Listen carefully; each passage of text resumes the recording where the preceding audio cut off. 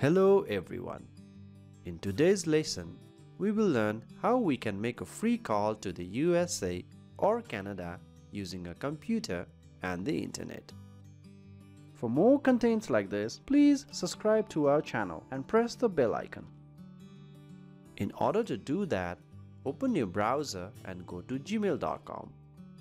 Please note, you will need to have a Gmail account to make free calls. If you don't have, please create one.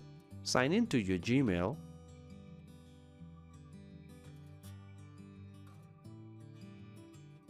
After you are signed in, if you scroll down and see in the left side, you can see make a phone call and there is a phone icon too.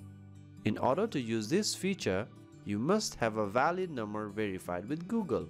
Any local number will do. If you do not have any number, check the video till the end for an alternative. Additionally, if you want to use this feature on a phone, you can download the Hangout app. Anyway, for this demo, let's find a number, maybe Apple's contact number.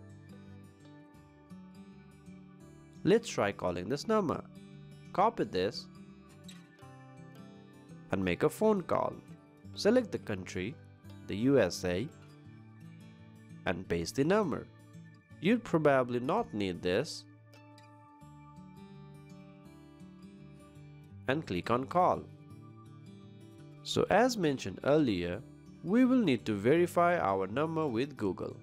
If you don't have one, check the video till the end. Let me choose my country and add the number.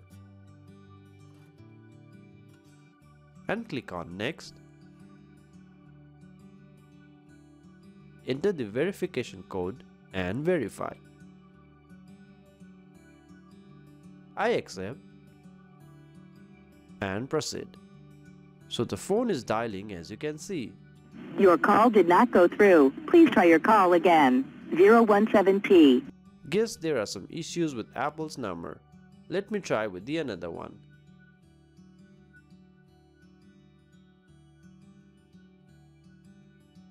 Thank you for calling HostGator. I understand complete sentences.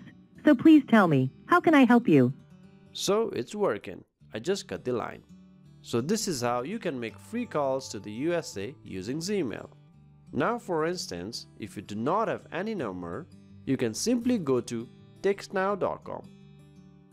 Then sign up, which is free. Use your Gmail account to register and you will get a free number.